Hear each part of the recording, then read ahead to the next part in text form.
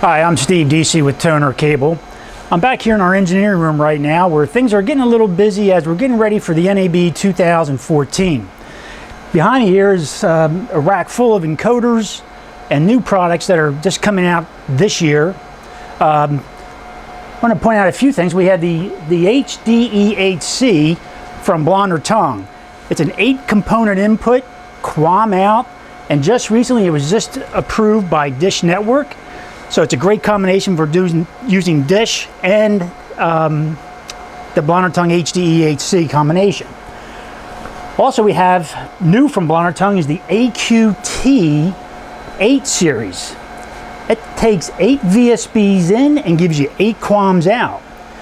It also takes 8 QAMs in and gives you 8 QAMs out in case you want to use it for like a cherry pick application at a school or a university. Uh, we also have the new DSE2 Plus, which has just been released from Drake, the DSE2 Plus gives you a component input, an HDMI input. It does 480i, 480p, 720p, and 1080i. And that's a two unit, it's a 1RU with the uh, two encoders, multiplex and QAM out. Also, we're showing here at this year's show the Thor HDME IP.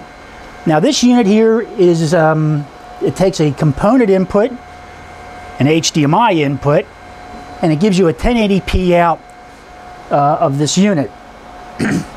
we also have some new um, Thor encoders, the HDME 202 and the 402, uh, which also offer an ASI and an IP out. And also we just added some new lines to our product, the Pico digital product, along with the Televis encoders and we've also added over here the um, Adtec DPI 1200 with the RGB uh, unit, which is a great combination for your um, digital ad insertions. And these are just some of the features we have here at the NAB.